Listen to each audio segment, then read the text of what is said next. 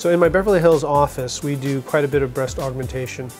And occasionally for very lean women, especially if they're going very large and they have very small breasts to begin with, have they have so little tissue that they you can see sort of the rippling of the implant through the skin. You can sometimes see the edge of the implant as well.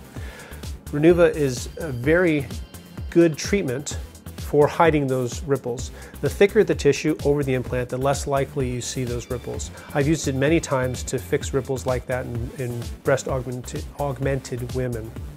Um, another option, of course, is fat grafting. However, many of these women who are so lean don't have enough fat to really get an adequate amount to treat the issue. So Renuva is the solution and it's non-invasive. It can be done on the spot with no recovery.